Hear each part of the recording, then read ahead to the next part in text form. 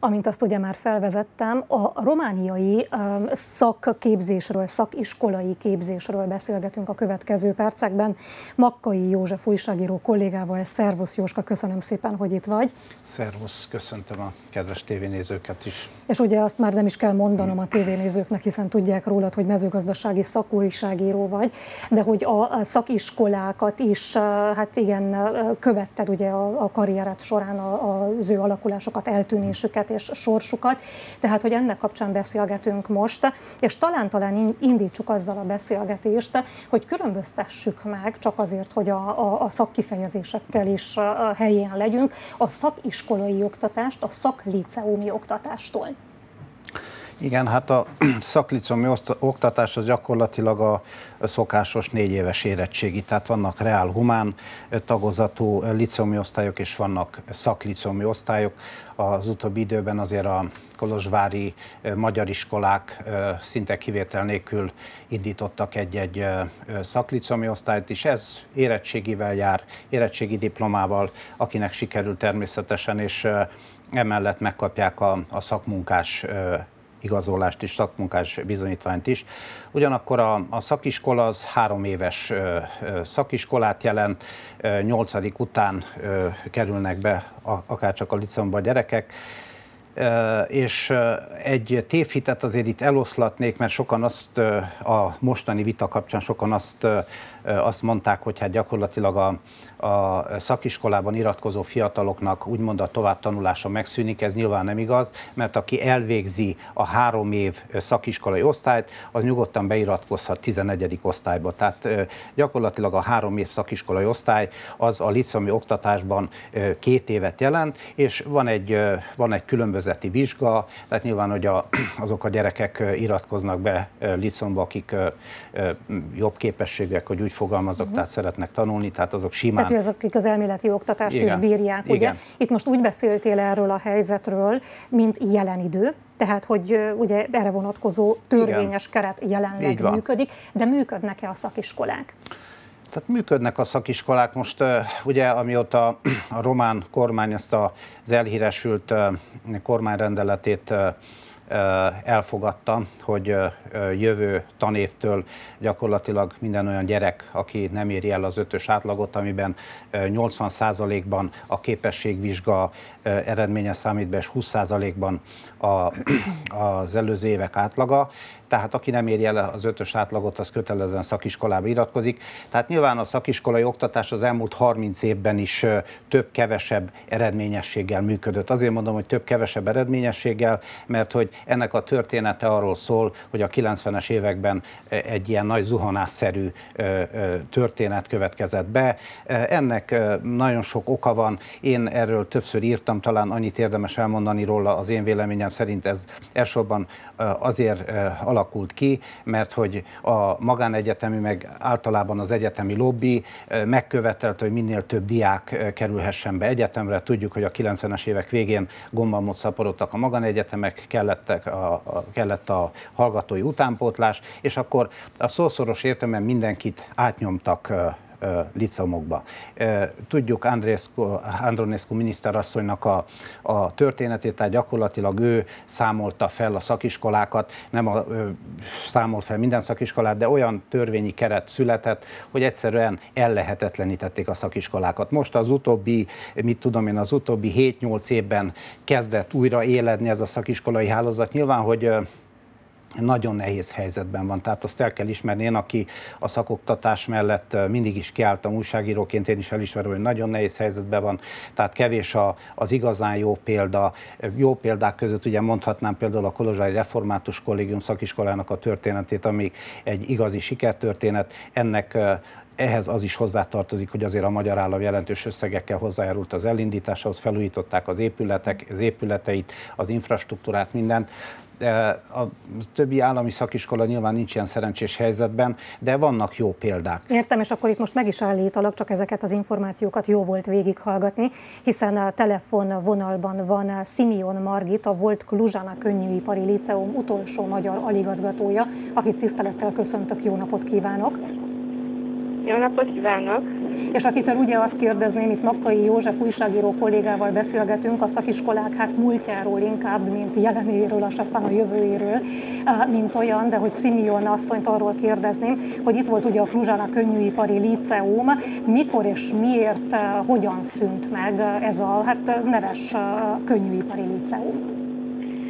Hát lassan a forradalom után, 2000 éves, éve, 2000 után kezdett lassan hajatlani az iskola sorsa. Nem az, nem az iskola miatt, hanem elsősorban, mert Romániában kezdtek megszűnni a könnyűipari vállalatok.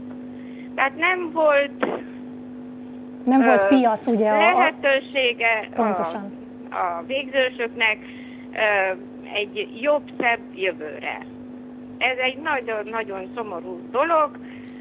Elsősorban lehet, hogy nem erre a problémára koncentráltak volna önök, de mivel könnyű iparról van szó, ahol 80%-ban nők, lányok tanultak és dolgoztak egy életen át, ez, ez az iparág, ez nagyon fontos volt a családok, a gyermekek részére. De uh, Margit, itt most gépeket láttam amúgy az előző percekben Igen. a képernyőn, amely gépek a, a Kluzsana Könnyűipari Liceum gépei voltak annak idején, és újra Igen. a kollégák képernyőre tették, hogy láthassuk azokat. Tehát manapság is léteznek azért varrodák, manapság is léteznek ugye olyan ipari egységek, ahol azért szükség van az ilyen jellegű szaktudásra. Honnan kapnak most ilyen jellegű a, a képzett, szakképzett embereket ezek ezek a gyárak? Hát sehonnan. Sehonnan, ha csak ezek a magánvállalkozók, mert nagyobb állami vállalatokról már nem is beszélhetünk ebben az iparágban, tehát ha magánvállalkozó rááldozza a plusz idejét, akkor kiképzi magának az új munkaerőt. Amit ugye gondolom, hogy azt már pénzért veszik meg a, a, az emberek a tanítást, ugye az oktatást, mint olyan, Igen. tehát nem ingyenesen a szakiskolai képzés által, hanem pénzt fizetnek egy magánvállalkozónak azért, hogy varrónőkké képezzék őket. Mi a, hát a legnagyobb tanulság, Margit, abból, hogy, hogy bezárták a szakiskolákat? Mi, mi a legnagyobb tanulság a jelenre nézve? Hát mit is mondhatnék, nekem az első nagy csapás nem, az volt, hogy uh, most szeptember 1-től a mi uh, iskola központunk, könnyű ipari központunk, amelyik még európai program uh, előnyeiben is részesedett ezelőtt uh, 19 évvel, tehát a legmodernebb géppelyekkel voltunk felszerelve, most szeptember 1-ével más titulust is kapott, és pedig turisztikai szolgálati kollégium. Tehát semmi köze a könnyű iparhoz. Tehát mint a madár, a kakuk, a turiszti, turisztikai ipar beköltözött a volt könnyűipari iskola központba. Igen, lehet, hogy most ugye a piac erre nyitott a turizmusra Igen. és turisztikai szakemberek erre képzését. De semmi kifogásom, ők is ugye meg, ők is kell fejlődjenek. Természetesen tehát nem a tanárok, az inspektorok, a nem tudom kik a hibások, hanem maga az állam nem gondolkozik azon, hogy mit hogy, hogy szakmára van szükség. Hát nálunk itt az, ezzel kezdtem, hogy a, a, nálunk az iskola volt technikum, mesteriskola, liceum, szakiskola, invalás iskola, a fogyatékosokkal foglalkoztunk, azoknak is volt három két éves oktatás. Hát ez teljesen megszűnt.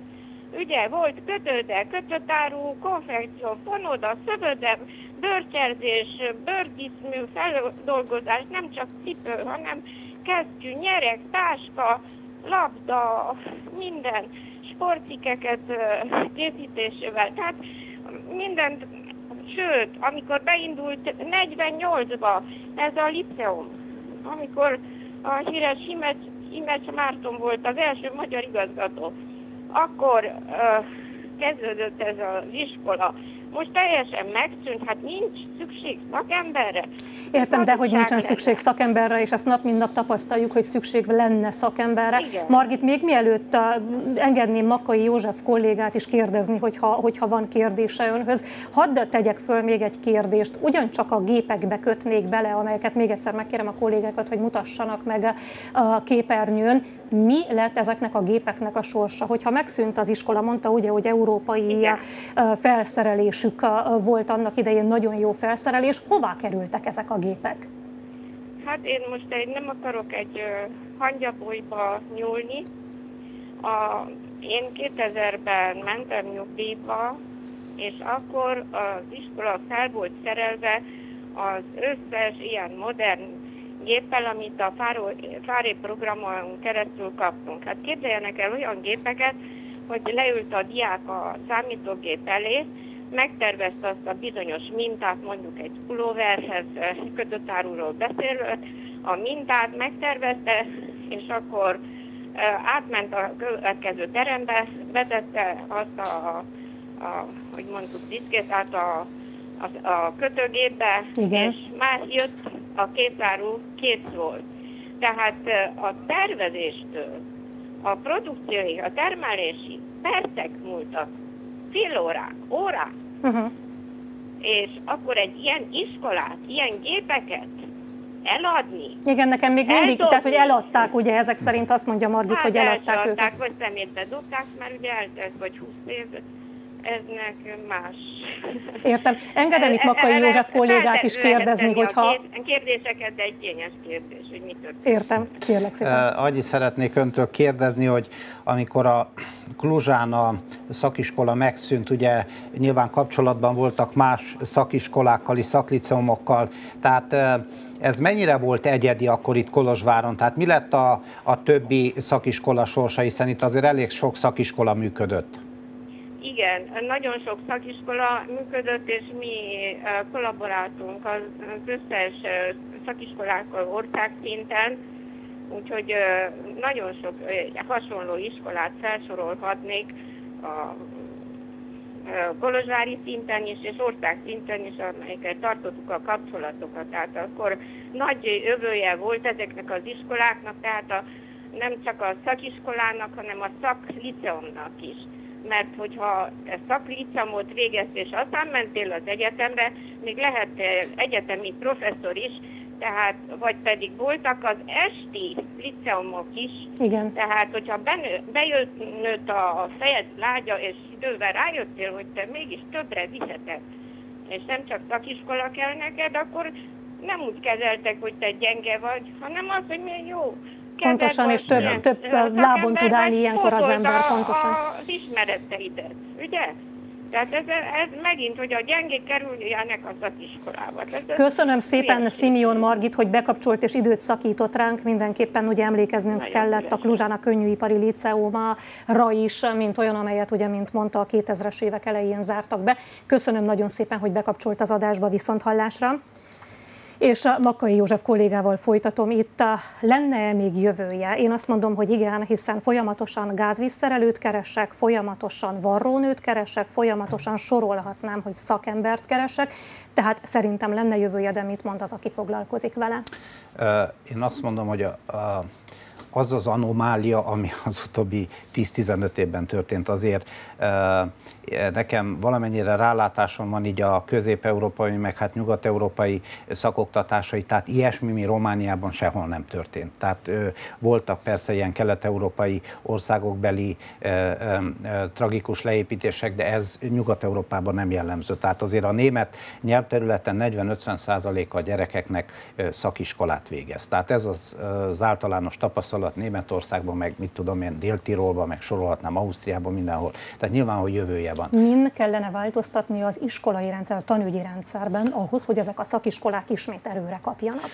Hát szerintem a kormány most változtatni fog. Tehát egyértelműen változtatni fog. A, a, például a mezőgazdasági szakoktatást átvette a mezőgazdasági szakminisztérium, tehát én láttam a terveket, elég komoly beruházások vannak. Nyilván, hogy most azt szeretnék, hogy duális képzésben kerüljön át az egész szakoktatás. Ez azt jelenti, hogy nagyon sok vállalkozót is bevonnának ebbe a képzésbe, mert végül is ez a duális képzésnek a, a része hogy egyrészt van a, szakiskola, másrészt van a vállalkozó, a vállalkozót érdekelté teszik, hogy ő is pénzzel támogassa, ösztöndiakkal támogassa a diákokat. Nagyon ö, jó történetek vannak ezzel kapcsolatban. Például van egy brassai szakiskola, ahol, ahol ö, mit tudom én, országos szinten is kiemelkedő, ö, kiemelkedően jól működik ez a történet, de mondhatnám a Kolozsai Református Kollégiumot, vannak a Székelyföldön is ilyenek én azt mondom, hogy ez egy kényszerhelyzet volt a kormánynak az idei döntése. Ezen lehet vitatkozni, hogy jó volt vagy rossz volt.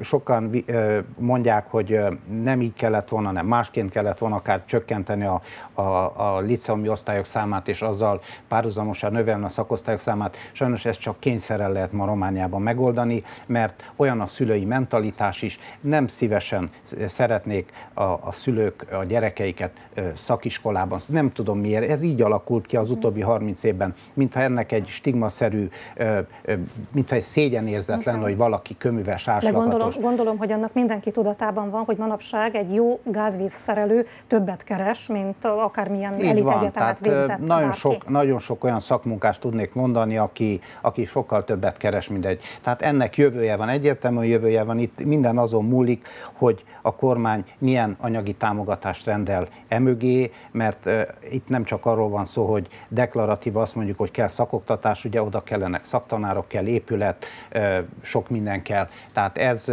ez elsősorban oktatáspolitika, szakoktatáspolitika. Most csak feldobtuk a labdát, aztán teniszezünk tovább a témán. Köszönöm szépen Makai Jóska, hogy Én itt voltál köszönöm. és beszélgethettünk.